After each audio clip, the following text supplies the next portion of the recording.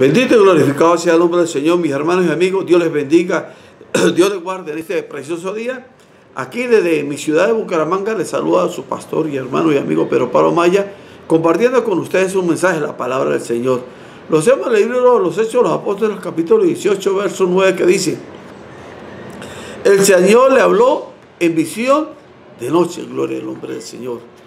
Hay personas que me han dicho, mi hermano, Dios habla hoy. Mire, Dios tiene muchas formas de hablarnos. En primer lugar, por su palabra. En segundo, nos, puede hablar por sueño o por visión. O nos puede hablar por voz audible, gloria al nombre del Señor. ¿Usted quiere que Dios le hable a su vida? Hay varios requisitos. El más importante es que usted viva en santidad. Que usted sea una persona de oración, que usted sea una persona de ayuno, que usted sea una persona de, de búsqueda, glorificado sea el nombre del Señor. Si usted actúa bajo ese parámetro, tenga la seguridad que Dios le va a bendecir grande y poderosamente. Y Dios le va a hablar a su vida. Gloria al nombre del Señor.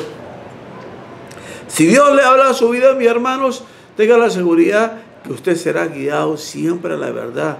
Y no, no será manipulado, ni será eh, engañado, ni será explotado. Gloria al nombre del Señor, porque desafortunadamente Hoy hay mucha gente que utiliza la fe para explotar, para engañar. Gloria al nombre del Señor.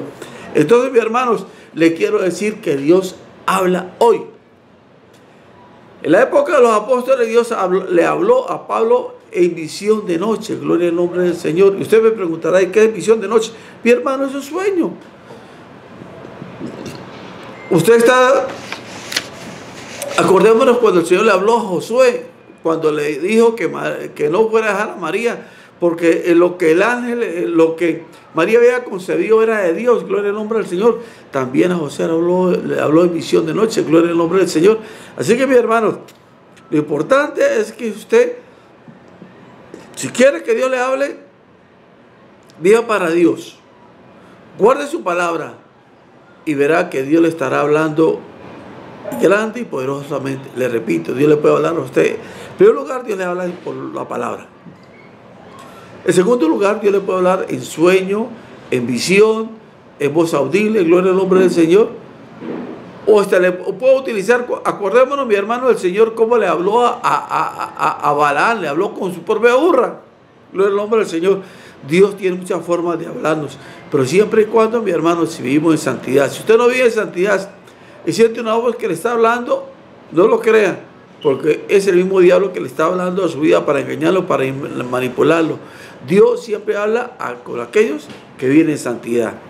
Mi hermano y amigos, para mí fue un placer estar con ustedes en este día. Dios les bendiga y Dios les guarde.